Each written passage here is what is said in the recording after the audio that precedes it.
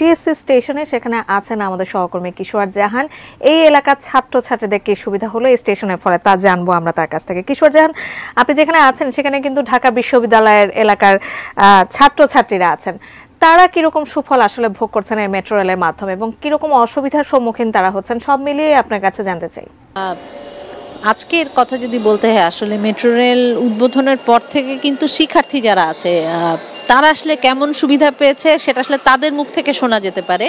তবে আমরা সকাল থেকে আসলে যেরকম দেখেছি যে একদম কর্মব্যস্ত, কর্মচঞ্চল একটা প্ল্যাটফর্ম। কারণ সকাল থেকে যেহেতু আসলে বিশ্ববিদ্যালয়ের ক্লাসগুলো শুরু হয়, তো শিক্ষার্থী যারা আছে, সকালে অন্তত যাদের ক্লাস, তারা কিন্তু আসলে সকালেই চলে এসছে এবং এখনও কিন্তু দেখতে পাচ্ছেন যে যেহেতু দশ মিনিট পর পর আসলে ট্রেন সেহেতু আসলে শিক্ষার্থী যারা অনাবাসিক মূলত সেসব শিক্ষার্থীরা কিন্তু এটার একটা প্রচণ্ড সুফল ভোগী বলতে হবে এবং যদি আমি আসলে এখানে যারা আছেন, তাদের থেকে যদি একটু জানার চেষ্টা করব যে মেট্রো রেলের যাত্রাটা আসলে কেমন ছিল বা ওনারা আসলে কতটা সুবিধা উপভোগ করছেন। কিন্তু আসলে একটু বলতেই হয় যে যানজটের শহর যখন আমরা বলি, তখন আসলে এই মেট্রো রেলে কতটা সুবিধা পাচ্ছে, সেটা আসলে যাত্রীরা ভালো বলতে পারবেন। আমি একজন যাত্রীর থেকে একটু জানার চেষ্টা করব যে উনি আসলে কোথায় যাবেন এবং আসলে কতটা সুবিধা পাচ্ছেন?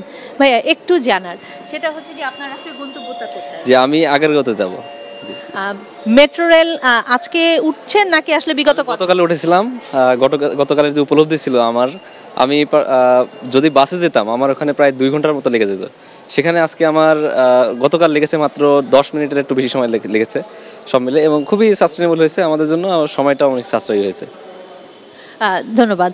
যাকে যেটা শুনছিলেন আসলে যারা মেট্রো রেল ব্যবহার করছেন যারা আসলে সুফলভোগী, ওনারা আসলে ভালো বলতে পারবেন কতটা সুবিধা পাচ্ছেন, কতটা অসুবিধায় পড়ছেন। তবে আমরা আসলে সকাল থেকে যখন এখানে এসে দাঁড়িয়েছি এবং অনেকজনের সাথে কথা বলছিলাম, ওনারা কিন্তু এখনই বলছিলেন যে, বিশেষ করে কর্মজীবী নারী যারা আছে, শিক্ষার্থী যারা আছে, তারা বলছিলেন যে, সকালবেলা আসলে অনেকটা বাসের মতোই চাপাচাপি করে তাদের আসতে হয়। শুধু বগি বাড়ালে হয়তো বা ভালো হতো। এরকম নানা ধরনের আসলে চাহিদা থাকবে, তবে সব মিলিয়ে যদি বলতে হয় মেট্রো রেলের যেই সুবিধাটা, সেটা আসলে বিশ্ববিদ্যালয়ের শিক্ষার্থীরা যেমন প্রচণ্ড রকমভাবে পাচ্ছে, একই সঙ্গে এই বিশ্ববিদ্যালয় এলাকা সংলগ্ন, আমি এর আগেও বলছিলাম যে বেশ কিছু স্কুল কলেজ আছে এবং এখানে ঢাকা মেডিকেলের মতো কিন্তু একটা বড় মেডিকেল যেটি। সেখানের অনেক ডাক্তারকে যেমন আমরা পেয়েছি, সকালবেলা আসলে মেট্রো রেলে করে আসছে আসছে, সেটা যেমন আমরা দেখেছি, আমরা কিন্তু অসংখ্য রোগীও পেয়েছি যারা আসলে ঢাকা মেডিকেলের উদ্দেশ্যে এসেছেন এবং তারা নেমেছেন আসলে এই স্টেশনটিতে।